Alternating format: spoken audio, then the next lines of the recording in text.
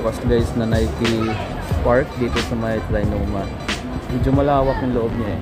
So check natin sa loob tara.